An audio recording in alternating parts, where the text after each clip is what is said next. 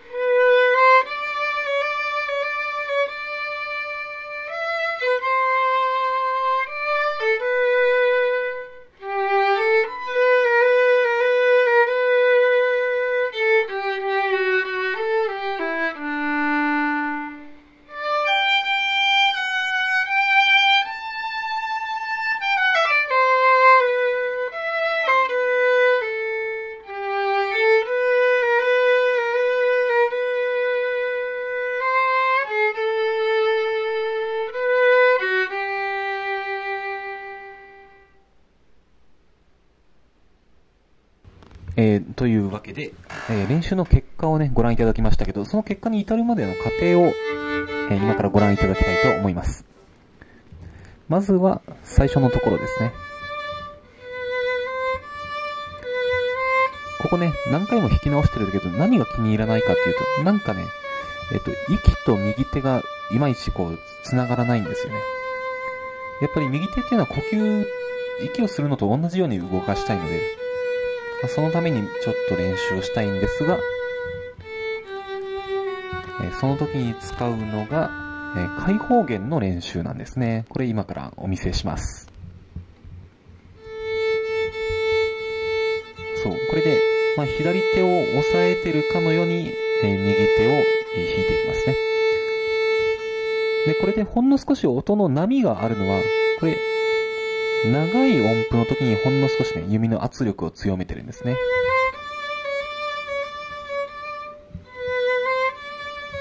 そう。で、今の開放弦の練習でも、まあ、ほんの少しね、音のな、音の流れが良くなりましたね。これは呼吸がうまいこといくようになったからですね。ただ、それでもまだちょっと完璧じゃない、え感じが自分でしています。ということで、ここからね、もう少し、えー、っと、まあ、今度はまあ、もう一度開放弦の練習なんですけど、今度はね、左手でビブラートをかけてる感じを出しながら、右手の練習をやってますね。開放弦でやってます。で、こうすることで、より左手が、あの、本物に近づいて、そう。ね、より、あの、息と左手の関係もね、息と左手、右手の関係も良くなりますね。そう。ね、あの、これまでも何度も同じような動画を出してるんですけど、自分の練習をね、皆さんにお見せするのは本当に恥ずかしくて、えー、あの、気に入らない方ね、あの、申し訳ありません。そう。そしてここから、えー、次のフレーズに行きますね。なんかね、いまいち、こう、フレーズのつながりが悪いですね。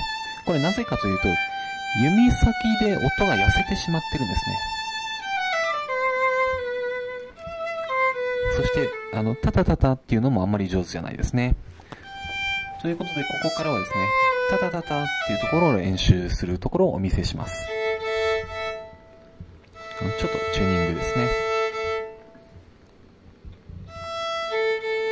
そう、タタタタを今開放弦でやってるところですね。そう、開放弦でやるとこうなります。そして左手を押さえるとこうなるんですが、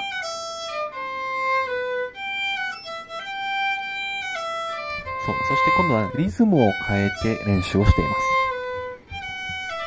そう少しね、音が細かい時は、えー、リズムを変えて練習することをお勧めします。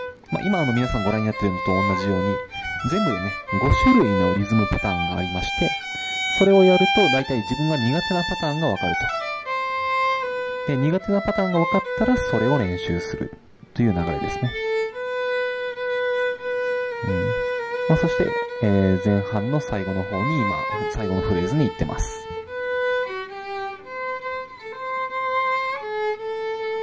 そう、一番最後の音程もちょっと難しいんですよね。そしてここから、トリオのスタッカートの演習をしていますね。で、もうスタッカートっていうのは絶対ですけれど、これはまずは開放弦で練習しましょう。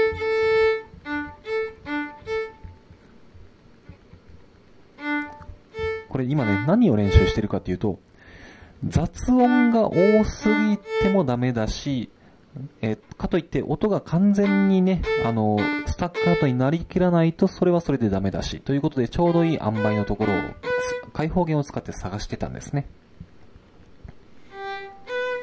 うん、そしてまあ大体こんなもんかなという塩梅が分かったら今度は左手と一緒にやると。うん。そうそう。まあそれでもちょっとまだ違和感があるので、違和感というのはあまりスムーズじゃないということですね。ということで今ね、リズムを変えてまた練習をしています。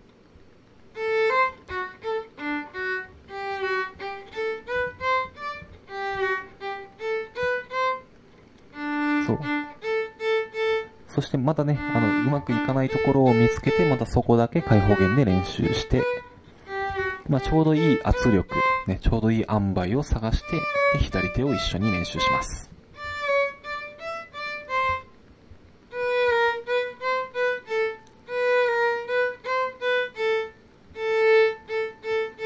そうそうそう。意外とね、自分で自分をごまかしていた部分が、えー、ゆっくり練習すると分かってきて、まあ、そこを今重点的に練習しているところですね。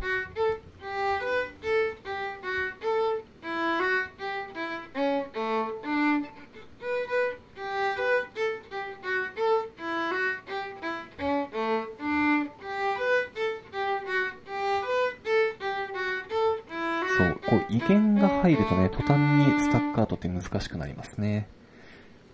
そして、あ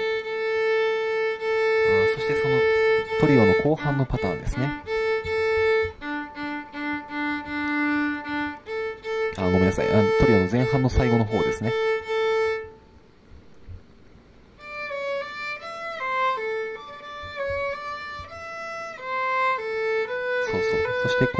音程も少し難しいので、音程と今右手も一緒に練習してますね。